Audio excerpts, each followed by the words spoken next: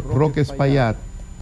al que le llaman el cobrador por una cantidad de vallas que ha diseminado por toda la geografía y que esté por encima de Miguel Vargas, que Miguel Vargas tiene 0.3, Roque Espaillat tiene 0.7, que está por encima de Carlos Peña, por ejemplo, que ha hecho una campaña presidencial ya conocida y, en el proceso pasado se promovía también como aspirante a la, presidencia de la República. Eh, me llama la atención ese detalle.